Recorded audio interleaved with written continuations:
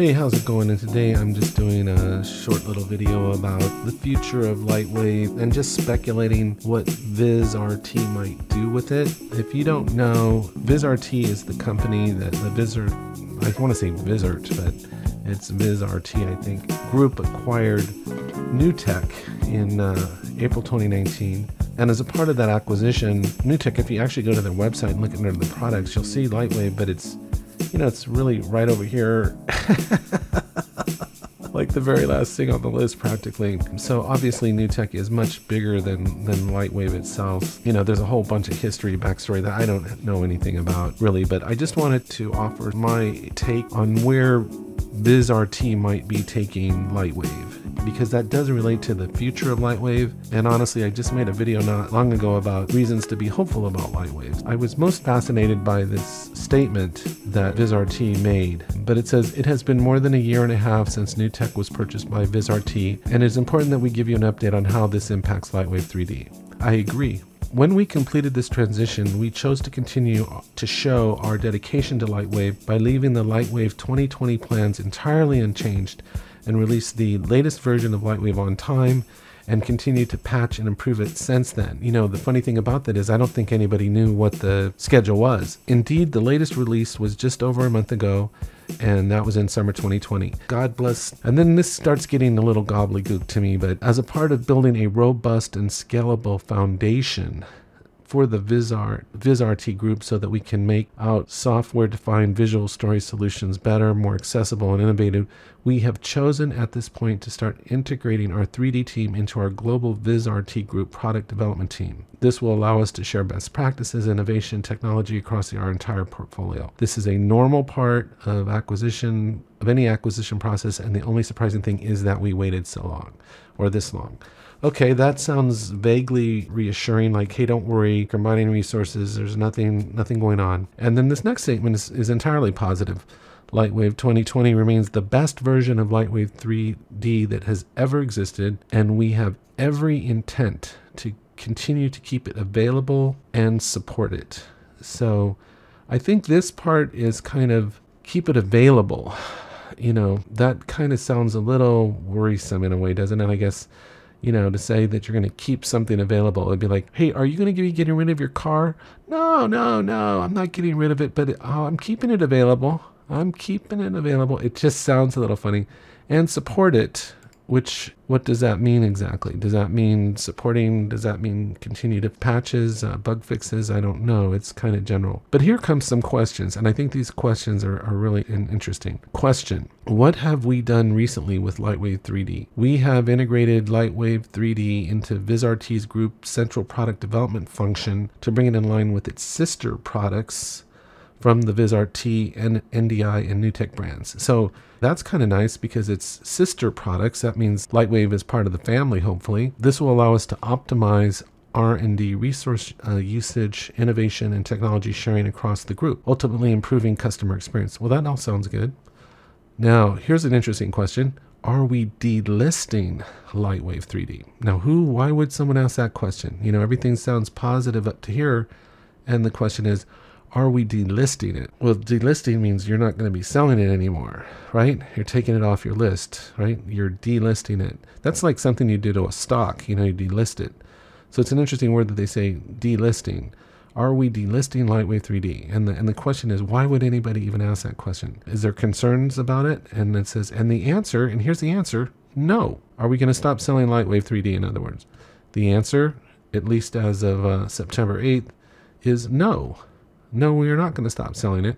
We continue to sell and support Lightwave 3D and related add-ons and then see lightwave3d.com. So the answer to that, are you going to stop selling it? No. Okay, that sounds reassuring. Now here's where it gets kind of murky. I guess you could look at it and say, will development continue on this product? Now, why would you ask that question? you have already said you're not going to stop selling it are you going to continue to develop it? The, the, answer to this, rather than reading all this, but I will read it anyway, the answer to that is no comment. so we have just released Lightwave 3D 2020, true, which has been well received by the market, and our immediate focus is on supporting the adoption of this latest version. So As a company, and like most companies, we do not talk about our development and future plans for our products. Is that really a true statement? Is that do most companies not talk about what their plans for software is? I don't know how true that is. That's a yes or no question, right? Will development continue? There's no yes or no here. It's just saying we have released.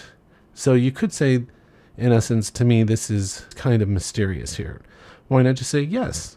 You know, Yes, we will. No, we won't. I think they're hedging here on this uh, question. So I could see why this might create what I call chatter. And when I think of chatter, I think of this scene from Tron Legacy. So I'm just going to show up part of this because I think it's funny. but there's something else too, isn't there? I've heard the chatter about this private initiative.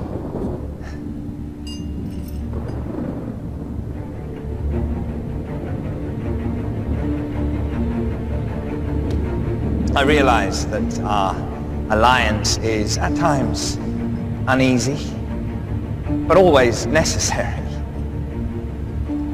You know you need me right where I am. Clu? Of course you're right. Enjoy the drink. So anyway, he's heard the chatter. So there is some chatter going on and I can see why, because this is a simple yes or no question and it's not answered simply yes or no. Will we still support our customers and channels that own Lightwave 3D? Yes. We know that Lightwave 3D is integral to many of our customers' creative workflows. So that's reassuring. And then what is on the roadmap for this product? And again, no comment. We do not talk of such things. So you can see how they answer some questions yes and no very clearly other yes and no questions, they kind of hedge around it and don't really answer it. So unfortunately, this creates chatter.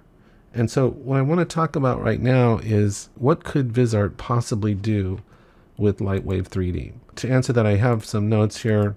In my view, there's three possible scenarios. The first scenario is what I would call the worst case scenario, or you can call it a murder in the night. And this is VizRT pulls the plug completely on Lightwave and stops selling it. It gathers up all the source code for the program and throws it in a pit of fire. I'm, I'm exaggerating there, but essentially that would be the worst case scenario. They just say, you know, we're not going to, you're not going to sell this program anymore. We don't want anything to do with it. Shut the whole thing down, and that's it. That would be the worst case scenario.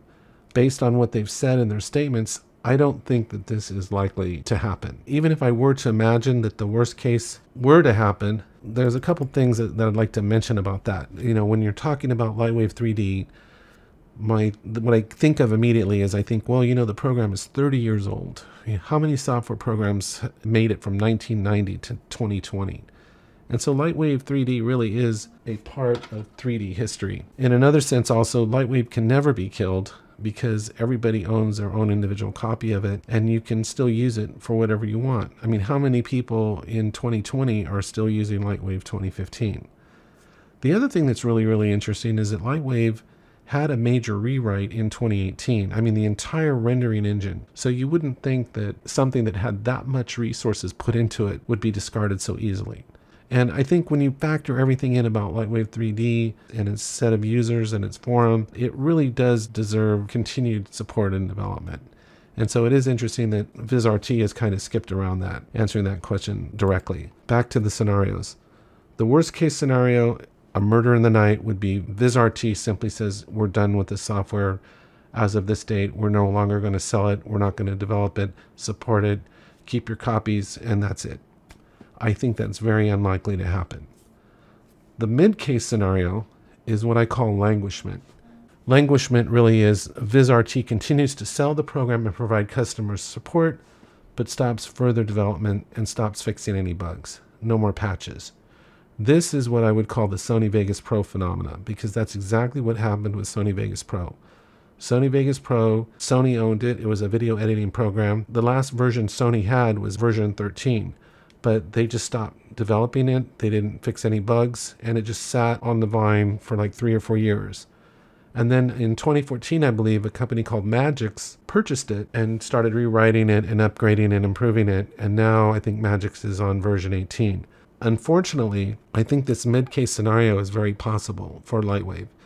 I think it's possible that if you read the statement that VizRT makes, that it's saying they're going to make it available, they're going to support it, but they sidestep around the question of if they'll continue to develop it, that kind of lends credence to perhaps the mid case scenario, which is what I call languishment or the Sony Vegas Pro phenomenon. Another last scenario, the best case scenario, and what's funny about this, this is actually what has been happening this past year, is that VizRT continues to happily develop and support the program or sells it to someone who will. And uh, I think if they do do that, whoever owns Lightwave needs to figure out a way to get the program into the hands of more users and make everything sustainable for the long term. There's a lot of ideas of how you could do that, get it into the hands of more users and provide more education getting the program into schools and stuff like that. But there's definitely a place for Lightwave. I think the best case scenario is possible. I don't know. It's hard to tell because VizRT did not answer the question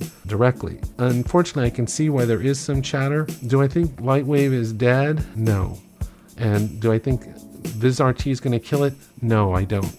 I think that more than likely they'll just hold on to it and they'll just stop putting resources into it and eventually at some point sell it if a buyer can come along and match whatever they're asking for it. That's really what I think is the most likely scenario. In the meantime, I would like to see VizRT continue to fix the bugs and patches and do what they can to continue improving it because at the end of the day, it is a good program. I know that I enjoy the program and I'm on the record as saying that this is not to put down any other 3D programs. It's just strictly a question of preference for me. I just enjoy using the program. So I don't think there's any reason to stop using the program. I don't think this is any reason to jump ship. I don't think this is unusual. It's not unheard of this kind of thing happening. The good news is that VizRT, if they're to be taken at their word, will continue to at least make the program available and support it, whatever that kind of means. So, for the meantime, for at least for now, we're okay. We've got a, a program that's usable, workable. There's nothing really wrong with it. There may be some bugs, fairly stable and usable. Please feel free to leave a comment or say what you think about it, but I think there's still every reason to be hopeful for Lightwave for the future, and I am just one of the die-hard users that's probably not going to jump ship on it. Okay. Well, anyway, thank you very much. Have a great day, and I'll talk to you later.